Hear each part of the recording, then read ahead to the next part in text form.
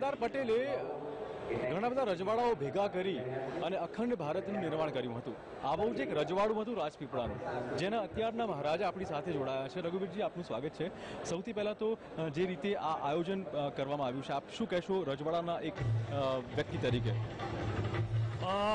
મારે એક તો જાણ કરવું છે કે સરદાર સાહેબ અને મારા દાદાશ્રીના બહુ સારા મિત્રતા હતી.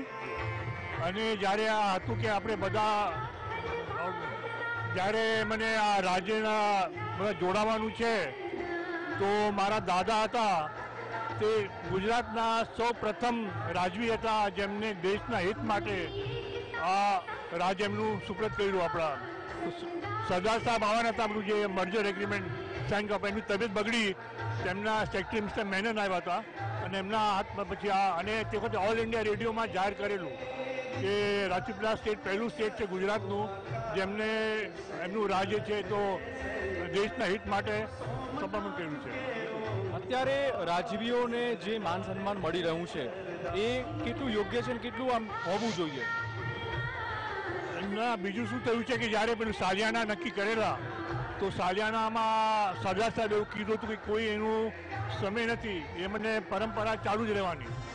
પછી ઓગણીસો બોતેરમાં ઇન્દિરાજી જ્યારે હતા પ્રધાનમંત્રી ત્યારે એમને પેલું બદલી આપણે લાવ્યા અમેન્ડમેન્ટ કર્યું કોન્સ્ટિટ્યુશન અને પછી આ રદ કર્યું.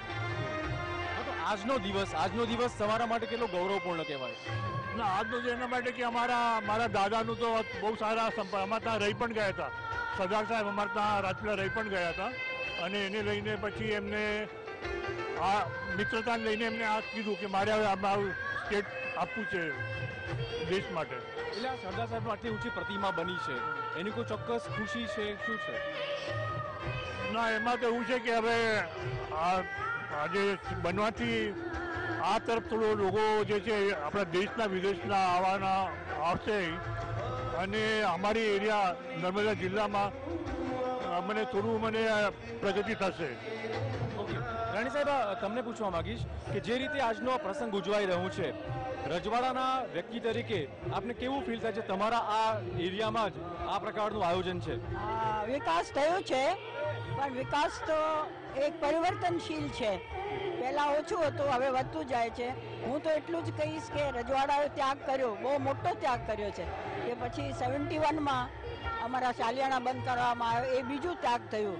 અને હવે ભાવિની પેઢી જે છે, હિન્દુસ્તાનમાં, આપણા ભારત વર્ષમાં, એ લોકોની જવાબદારી છે કે કેવી રીતે ચલાવે. અને આજનું આયોજન સરસ છે, પણ આ ટકી રહે તો બહુ સારું. અને અમને તો એમ છે કે અમારા જિલ્લા માટે, આ જિલ્લો પણ બનાવવા મારો જ ફાળો છે. નાઇન્ટી વનમાં, નાઇન્ટી ટુમાં અમે આ જિલ્લો બનાવ્યો છે, નર્મદા જિલ્લો. તો અમારો એ જ છે કે આગળ સારી રીતે ચલાવો. આજના આયોજનથી તમે સંતુષ્ટ જે રીતે રજવાડાઓ નાબૂદ કરીને લોકશાહીની સ્થાપના થઈ. આજની જે લોકશાહી છે, એમાં આપ બિલીવ કરો છો, એ મજબૂત છે, અથવા તો શું કરવું જોઈએ એના માટે?